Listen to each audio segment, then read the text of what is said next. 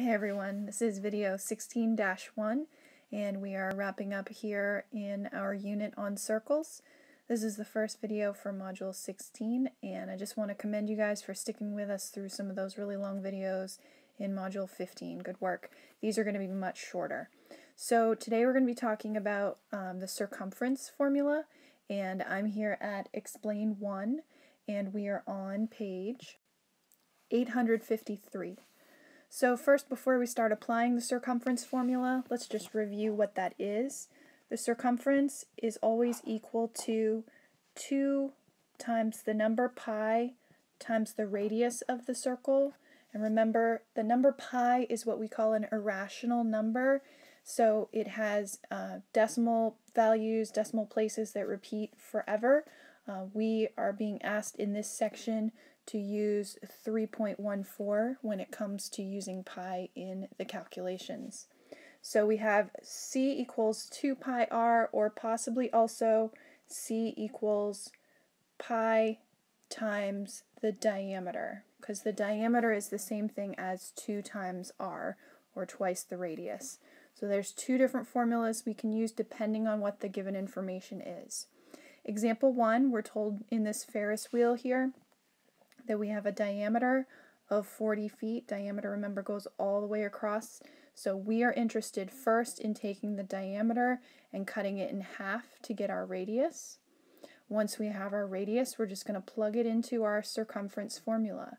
So 2 times pi times the radius of 20, and we're going to substitute the value 3.14 in our calculators for pi, and we get 125.6. So the circumference is 125.6 feet approximately. All of these are going to be approximations when you're using a rounded value for pi or even when you're using the stored value for pi in your calculator. So for part B, we're going to fill in. The pottery wheel here has a diameter of 2 feet. We want to know what is its circumference. So again, if we have the diameter is 2, then the radius is going to be 1 foot. And so we can do 2 times, substitute your 3.14 for pi, and then times 1, and then that comes out to be 6.28 inches. So at the bottom of the page here we have your turns 4 and 5. Make sure that you've done those before you go on to the next part of the video. And I will just give you a heads up, this time it is the circumference that you know and you are finding what the diameter is. Um, I'll just get this equation set up for you here. So if the circumference is 20 feet, then as I set up my equation, circumference equals, now notice we're given that we want to find the diameter this time, so let's set up the version of that equation that is pi d instead of 2 pi r. This time we're told the circumference is 20, so we're going to substitute what we know, and we're going to find out what is the diameter. So remember pi is a number, and we're going to solve by dividing both sides here by pi, and I'll let you finish that. Okay, so kind of set that one up similar to that for number 5. Okay, the second formula we're going to be applying today is the area formula. So if we're looking here at explain 3, remember the area formula is area equals pi times r squared.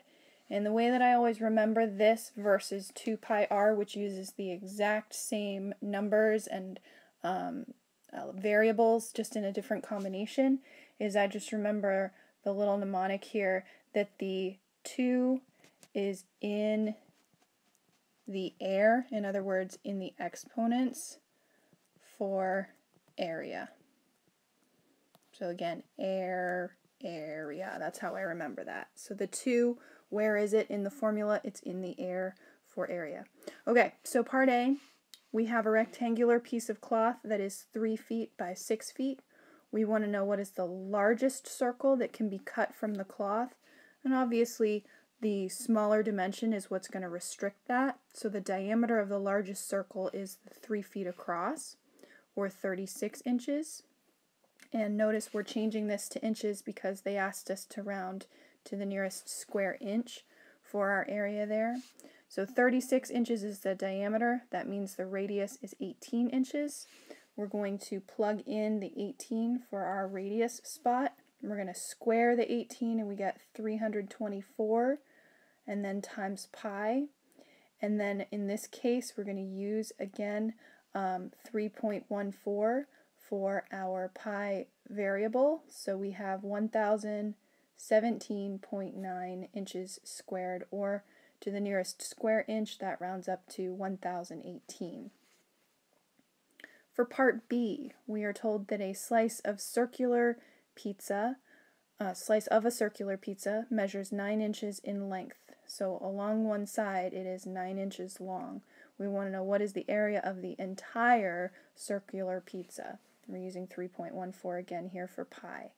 So it says the 9 inch side of the pizza is also the length of the what? Well, if we think about cutting out a slice, the side of the piece of pizza is the same thing as the radius, of course, of the circle. So in this case, the radius is going to be 9. So we're going to take pi r squared, our formula, and we're going to substitute 9 in for the radius. 9 squared is 81, so 81 pi is what I'm finding the approximation for when I use 3.14, and that is 254.34. And so to the nearest square inch, the area of the pizza is 254 inches squared. So continuing for your your turn here at the bottom of the page, you are going to take the idea of a swimming pool and we want to know how much material is going to be needed to cover the surface of the pool. That is again another area formula and make sure that you are using the substitution 3.14 when it times comes time to put pi in and find your final answer. Also, don't forget you have an elaborate problem here at the top of page 856 where you are being asked if you double the radius, does that double the area? So I want you to think about instead of putting r in, putting in 2r in the r spot in the formula and seeing what that does. And we will talk about that tomorrow.